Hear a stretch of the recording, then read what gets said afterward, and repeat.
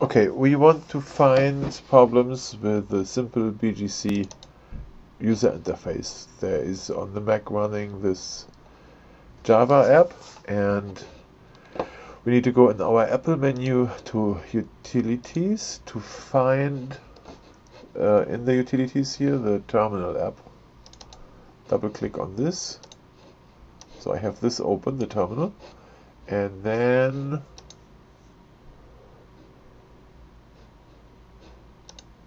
Let's make the font bigger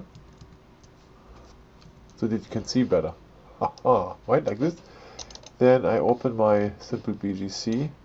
Here is the software. So in the terminal I enter Java space minus jar space and then I drag this in here and then I hit enter. So what happens now, it will run this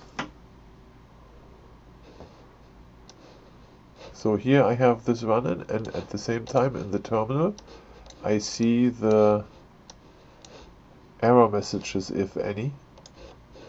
So in my case here I have an error loading the property files but my thing still runs, right? So that's not a big problem here. But uh,